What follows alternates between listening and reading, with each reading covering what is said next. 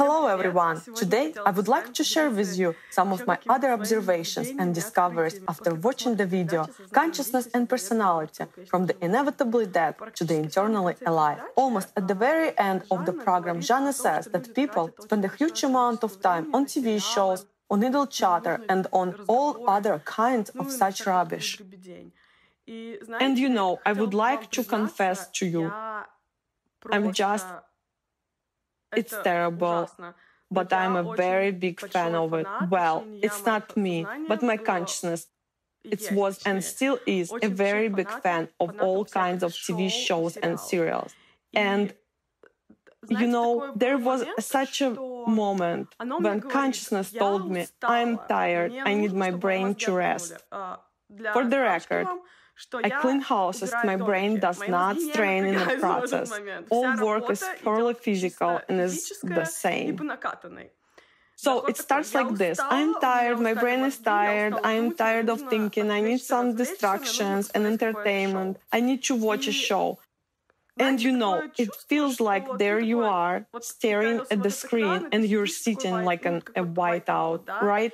And also, there was a moment when I was doing meditations, my consciousness always says, Your hand is relaxed, your leg is relaxed. I invested my attention in the whole thing all the time. And then when I'm watching the show, I suddenly realize that my mouth is open and I'm so deeply in it. I am so absorbed by all that. And that my attention is just, well, attention, as we remember, is very important aspect of our personal development. So I'm just totally there in the show, in this and I don't even feel my legs, my arms, my breath. I'm absolutely not distracted by anything.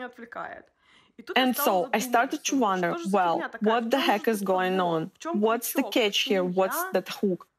Why am I sitting there in all that and waste my precious hours on all this 16? And most importantly, consciousness tells me you don't have time, you can't watch the program that lasts 12 hours.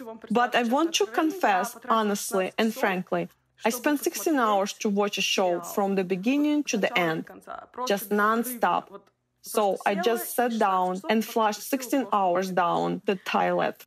And so my remarks after watching this serial it was a serial about maniacs and marauders. So creepy.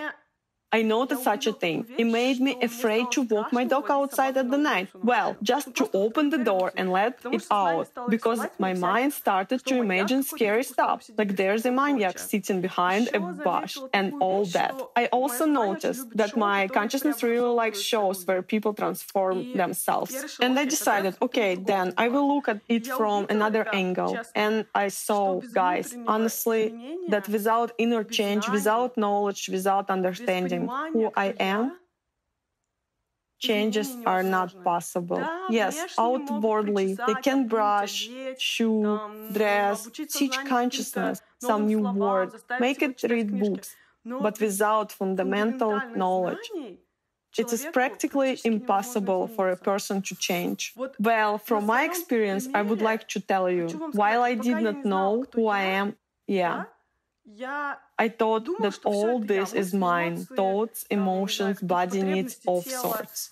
I thought it's all me. I want all that. I hate someone. I want to abuse someone.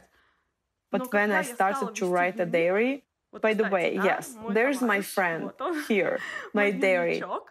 My consciousness disliked it terribly to keep records in it. When I started to keep a diary, to write down honestly what's what, I realized that it's not me.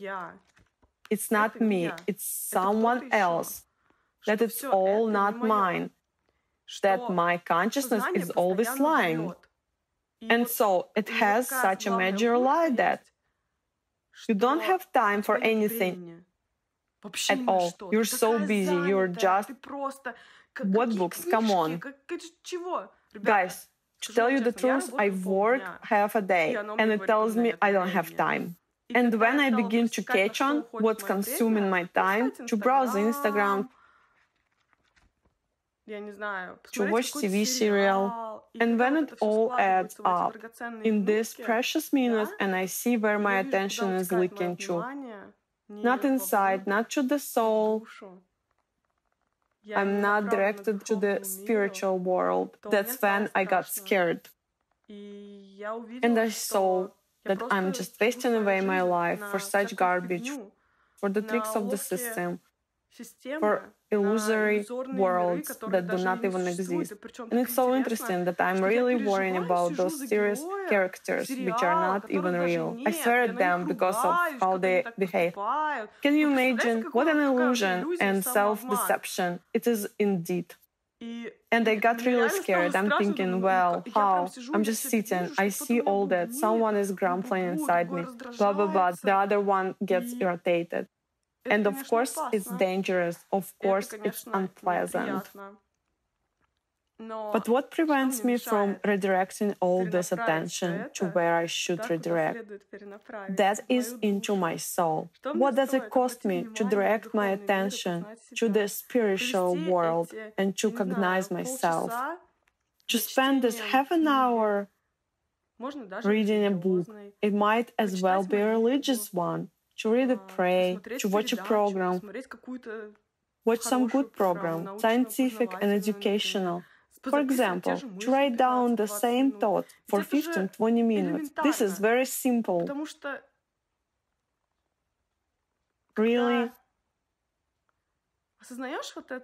Because when you realize this, and yes, this is one more thing to mention, my consciousness told me when Jana in the program talked about the need to take control of one's, or Igor Mikhailovich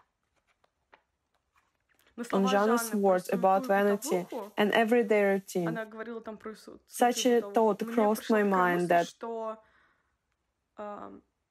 what should I give up everything? All my pleasures?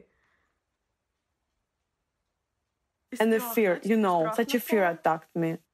And the next thing followed. I've worked so long for this, for this freedom, and now they take it away from me?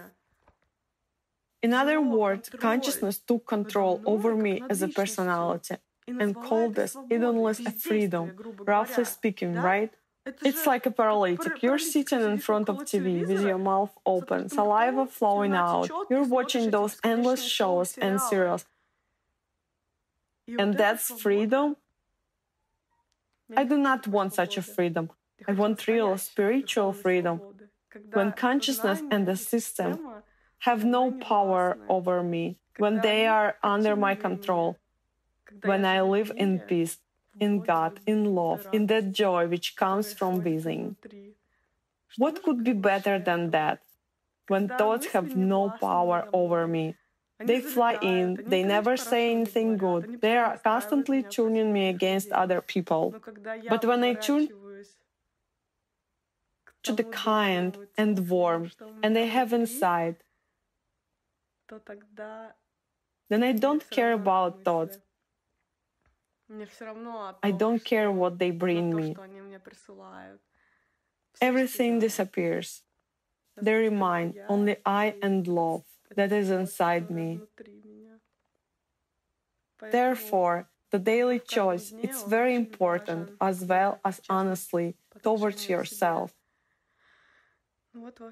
That's all I wanted to share with you today. Please do not waste your time for nothing.